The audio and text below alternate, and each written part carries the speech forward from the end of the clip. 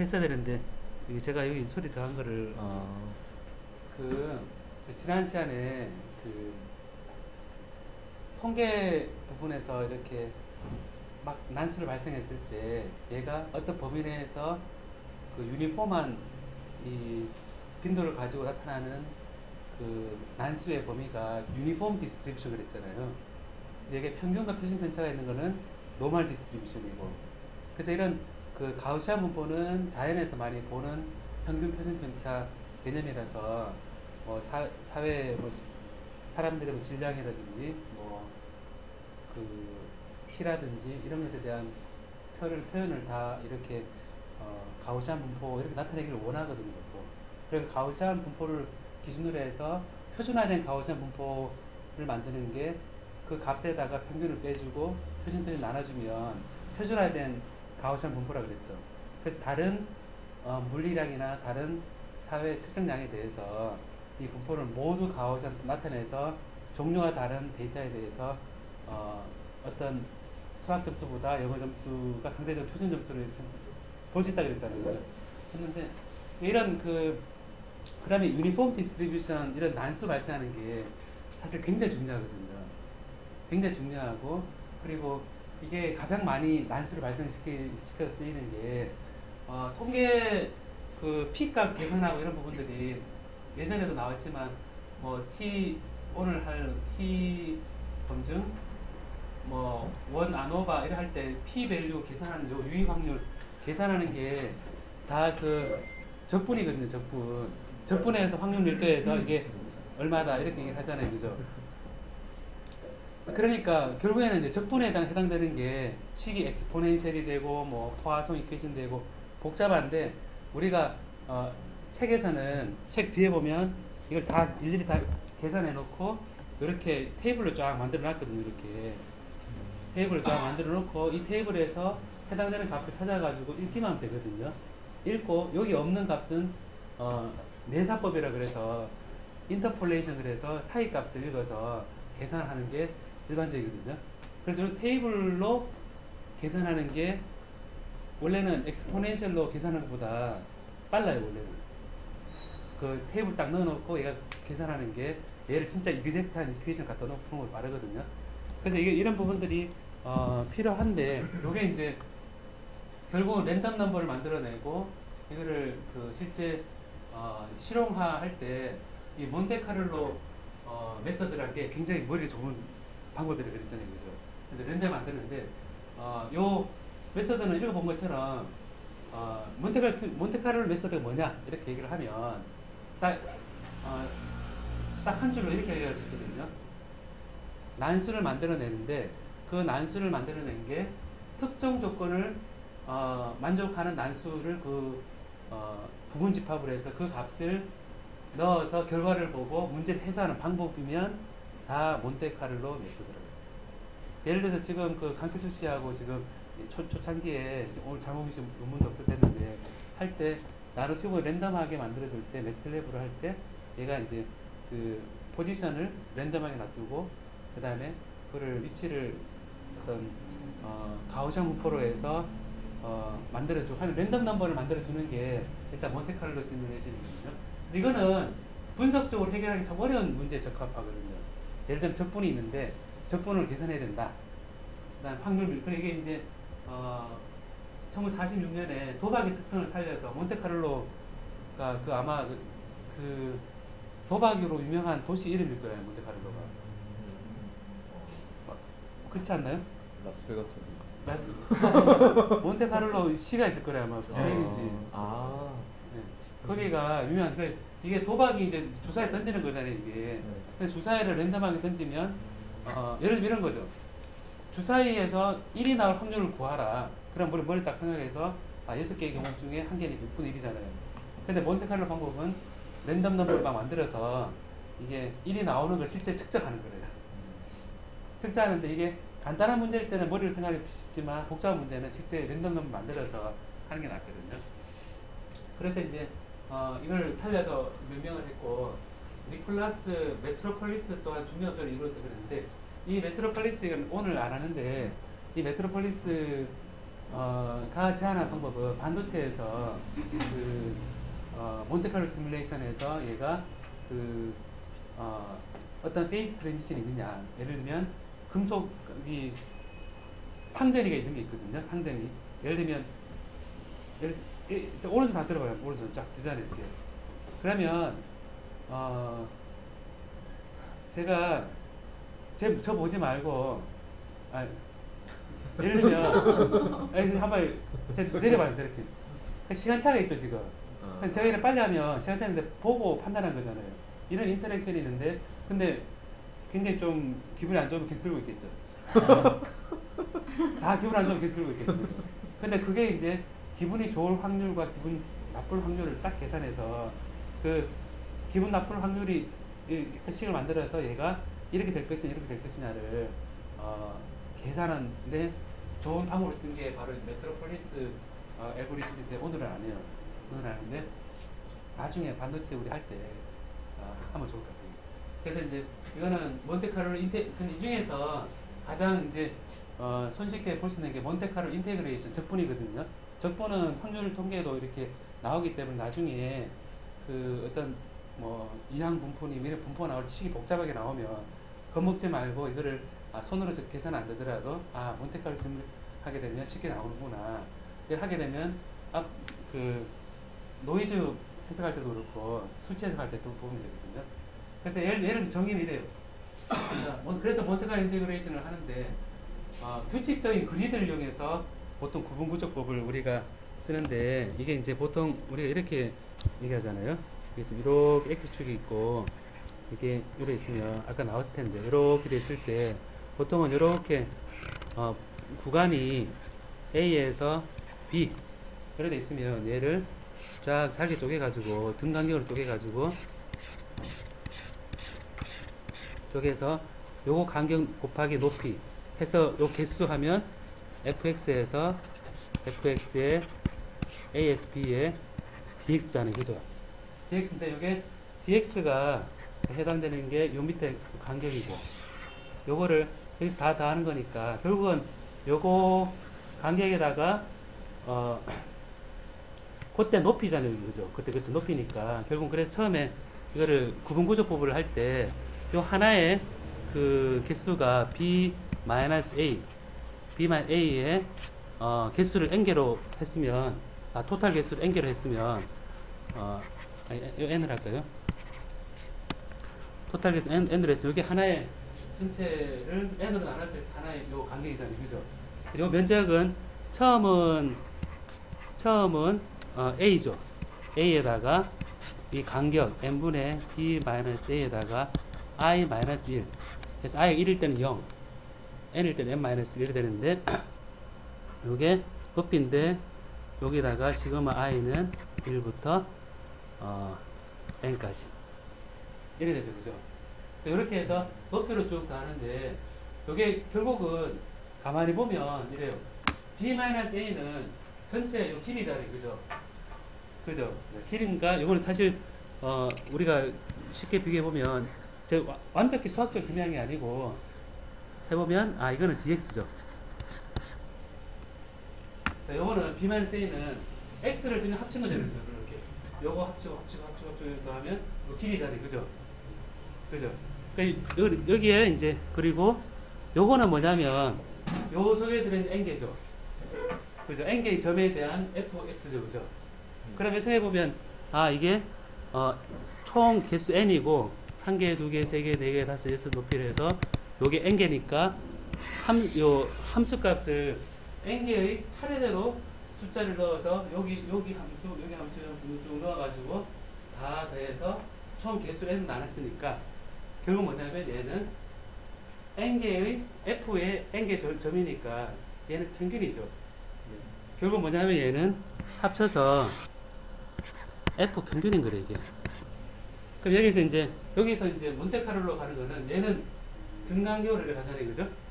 등간격으로 가는데 여기 이런 이런 할 필요 없이 그냥 얘를 어, 랜덤 넘버 개수만큼 만들어주고 그를 평균으로 그 개수만 평균을 취하면 된다 라는 거래요. 그래서 이게 요거하고 요걸 합쳐서 아 평균 어, 어떤 요 구간에서 구간에 대한 요 길이 하고 요 그 전체 요속의 평균 n 개의 점을 만들어내서 그 값의 함수 값의 평균 값이다. 얘가 이제 어, 손쉬운 그 그가 되겠죠. 그래서 저게 이제 얘 얘가 이런 게 얘를 이제 보는데 이런 거를 함수가 이런 게 있어요. h의 x, y는 어, x 제곱 플러스 y 제곱은 1보다 적거나 같다 할 때 1이고 else 나머지는 다 0이거든요. 그리고 이제 이거를 어, h의 x, y의 dx, dy래요. 이거를 접근하게 되면 뭐냐면 x와 y가 x제곱 플러스 y제곱이 1보다 적은 경우에만 얘가 1이니까 얘는 면적이잖아요. 그죠? dx, dy는 x 쪽하고 y 쪽 높이는 조그만 직사각형의 면적이잖아요. 높이. 그러니까 이제 요 면적 다 합쳤으니까 이, 이거는 x 플러스 y제곱 일부 작거나 같다. 이게 뭐- 뭔가 이게? 원이요. 이게 원이잖아요. 이게. 원이니까 어, 계산 별로 안 해보고 아 얘는 1등이니까 그냥 손쉽게 계산해서 얘가 아 이거는 파이 r 제곱 반지름이 1이고 파이에 1의 제곱해서 그냥 파이가 되거든요. 정확히 계산한 거예요. 근데 방금 요 몬테카를로 해놓은 거 보면 얘는 지금 x하고 y, x하고 y에 대한 거니까 얘는 범위거든요. 범위. 범위인데 요 x는 어디서 어디까지인가요? x 제곱 플러스 y 제곱 이거 이거 적거나 같아요. 마이너스. 마이너스 1에서 1이잖아요. 그죠? x가. 다음에 y는 어디서 어디까지 가요? 마이너스 1에서 1이잖아요. 그죠? 요거 길이는 2고 요거 길이도 2잖아요. 그럼 요걸로 이루어져 있는 얘는 4거든요. 요 조그만 네모가 4, 4잖아요. 면적이. 그럼 4에다 요것만 해주면 되죠. 함수 요 값에 어, 평균만 평균만 치우시면 되거든요. 그래서 저기서 엑셀을 한번 해보는 거래요. 그냥 엑셀로 어,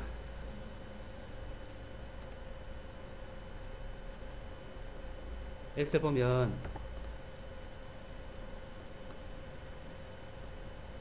여기 마이너스 1에서 1 사이에 이제 여기 랜덤 넘버가 돼야 되죠.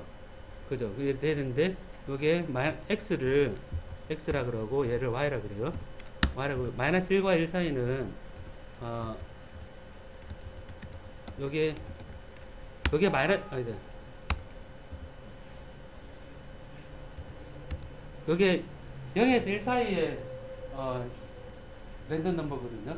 그럼 여기서 0에서 1 사이니까 곱하기 2를 하면 0에서 2까지잖아요. 0에서 2까지인데 1을 빼주면 마이너스 1에서 2까지잖아요. 그래서 이거를 마이너스 1을 해주면 어, 마이너스 1에서 1까지 랜덤 넘버거든요. 그 다음에 옆에 y도 그냥 랜덤 넘버죠 이렇게. 그러면 이제 x와 y 했으면 함수 함수가 어떻게 되냐면 x 제곱 플러스 y 제곱 이제 x 만들었죠, 그죠? x도 random number, y도 랜덤 넘버를 만들었어요. 근데 함수를 딱 보니 함수에 대입을 해야겠죠? 대입을 해야 되는데 얘가 h에 h에 x, y인데 여기서 이제 할 때마다 random number 만들어지니 그런데 여기 여기에다가 어, 제곱 더하기 제곱에서 1보다 적으면 1이고 그보다 크면 0이잖아요. 그죠? 그러면 이게 엑셀 함수에서 이렇거든요. if if 얘가 어, a2의 제곱 더하기 b2의 제곱이 1보다 적거나 같으면 엑셀 얘는 같으면 1이고 그렇지 않으면 0이다. 이렇게 되니까 얘는 값이 이래 되죠. 그럼 여기서 이제 어 요거를 한쭉 이렇게 만들어요. 한 20개 만들어요. 20개 만들고 요 함수를 쭉 다음 되겠죠. 그럼 다음에 여기서 보면 지금 여기서 만든 거를 어 보면 여기서 f의 평균값이니까 요 그 범위는 2 곱하기 4, 2는 4잖아요. 그죠? 4에다가 f 평균값 구하면 되죠. 여기다가 계산할 때 이래 되겠죠. 는 어, 에버리지 에, 아예 그냥 에버리지 함수 쓰고 여기서 여기까지 여기까지 하고 곱하기 4 이러면 되겠죠. 그럼 4에서 딱 하면 2.73이잖아요. 2.73이면 8보다 멀죠? 네. 8은 뭔데 이거를 좀 많이 20개밖에 안 되잖아요. 그죠? 20개 안 되는데 얘를 좀 많이 만들어서 한 몇 개 만들어 볼까요? 뭐. 한 500, 700개까지 한 김에 700? 700개 볼게요. 700을 딱 이래 하면 700개 랜덤 넘버가 만들어졌거든요. 자, 요거를 또 700개 가야겠죠. 함수 값을 700개 만들었어요. 그럼 이래 했으면 만들었거든요. 그럼 함수 값 0, 1인데 요거에 어, 700까지는 이거 에버리 700이죠. 700. 그러면 3.1이죠. 보니까 지금 계산이 이게 많아지면 많아질수록 그 계산이 가까워지거든요. 가까워지는데 이거를 integration에서 하는 거하고 Mathematica 이런 데서 inte, integration 하는 거하고 이게 그, 그 수치에서 하는 거하고 언제 강력해지냐면 얘가 x 플러스 y 제곱은 1보다 적은데 예를 들어서 x 제곱 더하기 y 제곱 더하기 g 제곱 더하기 k 제곱 더하기 변수가 많잖아요. 많으면 많을수록 Monte Carlo integration이 유리해지는 거예요. 한계 재를 때는 이런 부분인데. 그래서 이게 이제 그 아, 요, 이게 근데 R에서 R이란 프로그램이 우리 연구실에 많이 안 쓰는데 통계 처리할 때 이제 많이 쓰거든요. 이것도 이제 어, 알아두면 좋은데 이제 이제부터는 제가 아예 이렇게 해볼게요. 어, 책에 안 나온 게 예, 제가 설명 안 한 걸 할게요. 함수를 정의를 하는데 제가 펑션을 정의를 해요. 이게 정의를 이렇게 해요. 이거 비슷한데 f라는 함수를 제가 정의를 하거든요. 정의를 하는데 뭐를 정의하냐면 어, x x 값을 x 값을 아 잠깐 저 이거는 잠깐만요. f라는 정의를 하는데 function을 어떤 개수 n으로 할게요. n n을 넣어서 나오는 함수거든요. 근데 이거는 뭐냐면 어, x 값을 음, random number 근데 uniform distribution 인데 n 개를 많은, 만드는데 어, minimum은 마이너스 1에서 maximum은 1까지 이렇게 만들어요. 그럼 random number인데 uniform distribution을 가진 random number를 n 개 n 개인데 얘를 마이너스 1에서 그렇게 했어요. 이렇게 딱 하고 y를 random number인데 uniform distribution을 하고 n 개인데 x를 같은 거래 지금 minimum은 마이너스 마이너스 1이고 maximum은 1이라요. 이 상태에서 그 딱 만들었죠, 그죠? 이러고 난 다음에 아까 4 곱하기였죠, 그죠? x가 마이너스 1에서 1, 2. 그다음 또 마이너스 1에서 1, 2 곱하기 4잖아요, 그죠? 4 곱하기 이제 민 이렇게 해서 어 여기서는 이제 적분을 어, 어려운 거, 저 x 마이너스 y 절대값 있죠? 요거 요걸 해보는 거예요. 그래서 ABS의 어, x 마이너스 y 이렇게 해서 어, 이렇게 해서 어, 딱 하고 함수를 달아요. 이 문제는 이거 이 문제는 지금 어, 제가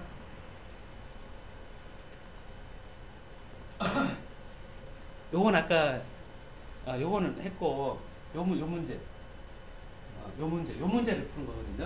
요 문제를 푸는데 마이너스 1, 마이너스 1인데 아무 고민 없이 어 x는 두 개네. 랜덤 넘버 쫙 만들어주고. 그 다음 어 함수 그냥 넣으면 되지. 이렇게 해서 x 마이너스 넣고 얘를 이제 하면 f에 100개. 그러면 2.93이죠 f에 1000개 하면 2.63이죠. F에 만 개 하면 아 대문자 됐네. F에 아 그러면 2.669 되잖아요, 그죠? 근데 엑셀에서 함수를 아까 제가 얘 함수를 if문 썼었는데 얘를 똑같이 쓰면 되거든요. 그러면 얘를 abs abs를 써서 어, 요거 빼기 요거 하면 같죠? 그래서 이렇게 카피하고 얘를 쫙 카피를 해볼게요 한번. 요 두 가지 방법이 같아야겠죠? 그 700까지 control V 딱 하면 2.7이 되죠? 그러니까 요 보면 아 random number를 많이 만들고 많이 만들고 그 다음에 함수를 이제 절대값을 두 개 뺏는 거의 함수로 해서 이 요거 해보면 average 곱하기 4 했는 게 R에서는 2.669 이제 요래되 요래된 쪽이죠. 요래되면 이제 요렇게 쓰면 좋은 점이 x를 어, f에 20으로 해가지고 딱 보면 x가 뭐냐 하면 20개 돼. 아 이게 안에 들어가 있기 때문에 안 나온다. 네. 그 x가 예를 들어서 g에서 r 유니폼 해서 20에 미니멈에 마이너스 1에서 맥시멈에 1 이렇게 해서 하면 이렇게 g 있으면 이 g가 랜덤 잘 만들어지죠. 그죠? 엑셀 하면 쭉 이래 했어야 되는데 R에서는 손쉽게 이걸 만들어낼 수 있는 거예요. 물론 매트랩에서도 똑, 똑같, 똑, 똑같은데 여기 통계 처리할 때 많이 쓰니까 그래 되거든요. 그래서 제가 이제 보면 그 요런 그 어, 랜덤 넘버를 만들어내서 특정 조건을 만족하는 특정 조건이 이제 함수 요걸 만족하는 경우에 이 값의 에버리지를 어, 해서 이 계산을 만든 거죠. 근데 이런, 이런 상태에서 요 이해 이해 되겠죠, 그죠? 그럼 이게 함수가 아무리 복잡해도 생각해야 될 게 i 범위 범위 그 다음에 요 함수 100만 개든 1000만 개든 만들어내서 요 평균 딱 구하면 어, 굉장히 복잡한 함수라도 적분은 어렵지만 함수 늘 값을 넣은 건 계산 쉬워요. 이런 상태에서 이런 그 노이즈를 측정할 때 우리가 어, power spectrum density라 그러는데 요거는 어, 다른 시간에 얘기했지만 정기적 노이즈를 기술할 때 주파수 도메인에서 이제 보통 autocorrelation function, Fourier trans 이런 식으로 얘기를 하긴 하거든요. 하는데 보면 결국은 이런 적분이래요. 이런 적분. 이런 적분일 때 이 값을 어, 만들어내서 이 시간을 대입을 해서 계산하면 된다 라는 거거든요. 그러니까 어떤 integration을 이제 어, discrete한 값을 넣어서 그를 쭉 평균을 구하는 거는 쉽다는 거죠. 그래서 요거는 요 식은 자세한 거는 우리가 다음에 하고 어떤 어, 이 우리가 power spectrum 이런 노이즈를 만약에 새로운 방법 개발하잖아요, 그죠? 개발하면 어, 여기서 이제 생각하시는 게 짧은 시간에 random number를 빨리 많이 빨리 많이 만들어내는 게 실, 그 기술이겠죠. 그 계획가 있으면 얘는 포리어 트랜스폼이라는 게 다 적분이잖아요, 지금. 다 적분이니까 결국 뭐냐면 그다 어, 랜덤 넘버를 많이 만들어내서 걔를 최대한 많은 숫자로 평균을 취하는 그런 어, 회로나 어, 그걸 만드는 게 이런 어, 수치 해석의 한 가지 방법이 되거든요. 근데 그 제가 그 좀 짧게 얘기한 거하고 지금 얘기한 거하고 조금 더 나은가요? 네. 근데 이게 유용 유용한 것 같아요, 이거는.